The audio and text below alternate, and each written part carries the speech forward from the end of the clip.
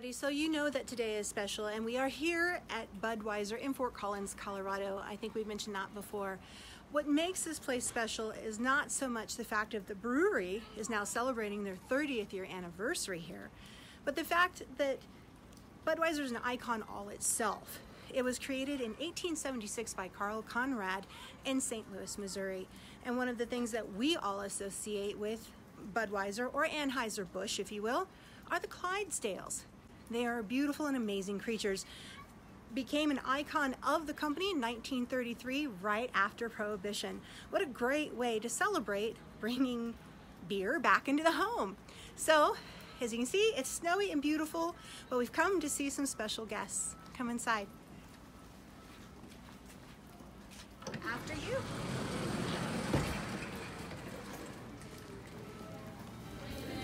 Well, if you ask me where I come from,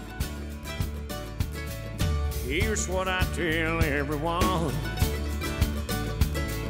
I was born by God's dear grace in an extraordinary place where the stars and stripes and the eagle fly. It's a big old land with countless streams. Hey, Extreme RVers, you will never guess where we are today. We are at Anheuser-Busch, Budweiser Corp Corporation and Company here in Fort Collins, Colorado. We're here with Shelby and these amazing looking Clydesdales behind us. We got a great treat today. They're not normally here from what I understand. Found out today that they're gonna be here, when do they leave? We leave on the 24th. On the 24th, so today's the 21st. January, they're gonna leave in a couple days. They're only here about 30 days out of the year that they travel. We are with the West Coast team that does both, you said west of the Mississippi River, right? So, this is an amazing treat. And we wanted to show all of you. You do come here a couple times a year though, right? Yes, At we do. Um, it just depends what our schedule is, but we try to make it here a few times a year to make appearances and do our camera day where people can come and pet the horses and take photos with them. pet the horses. That's my favorite part. And then they do have camera days. Everyone can do that. That's always on Budweiser.com. Yeah, I think it's the Budweiser Tour website. Definitely, because there's also tours. We saw a great restaurant and gift shop, which we're going to show you a little bit later too. Another wonderful thing about today that we're here is this is the 30th year anniversary that Budweiser has had their plant here in Fort Collins, Colorado. So this is a big treat, and we're going to take you all with us. So we're going to walk down this way a little bit here, and we're going to give away your secret. Can we give away the name Yes, secret? can. We can give away the name secret. Do you see these wonderful names here? I was all like, oh, Pee-wee, why did they name you that? You're such a majestic animal. You poor baby. That's not their names. no, we just have them there for display purposes, keep the horse comfortable and not having his name shouted at him all day by tourists. That's right, because I'm sure it would be confusing as an animal, constantly hearing your name and your animals are used to being alert to when they're called and things like that. Exactly.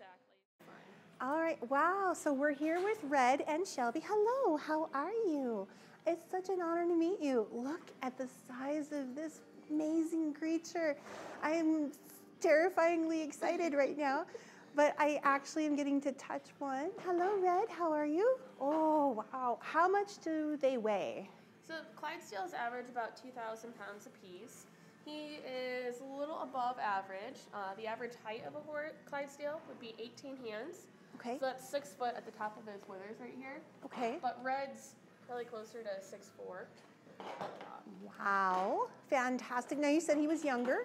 Yep, he's six. So he still has a little bit more growing that he can do. Okay. Um, Clydesdales mature a little bit later than you know, like the light horses. When, how, like, how old do they normally get? Um, on the road, we have our range ages range from five to twelve on the road. Five to 12. And now, is he accustomed to everybody? I mean, this doesn't make him nervous. Oh, yeah. I'm just the only one nervous. We make a lot of appearances each year. Uh, we just did the Rose Parade, and it was Red's first Rose Parade. Oh, okay. And there are thousands upon thousands of people that attend the parade. well, I mean, clearly they have to be very well trained. They're they're very well coordinated because they. I've seen them. The last time we saw them was in Bar Harbor, Maine, in 2015, and we didn't even know they were going to be there at the time.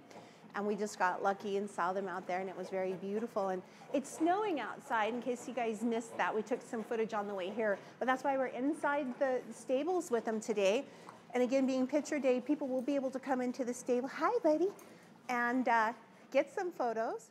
Meantime, how long does it take to groom them to prep them to for show? It takes a while. Yesterday we spent all day washing all 10 horses. Um, today we'll get two of the horses ready for the camera day. They'll get their legs washed. We'll curry them, get any loose hair off, and brush them. And then get them ready for the show.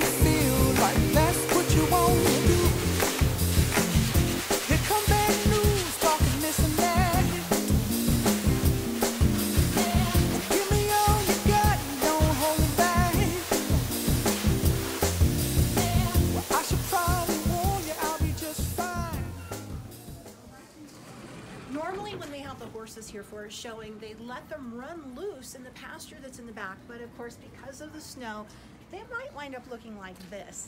I don't think that's what anyone really wants.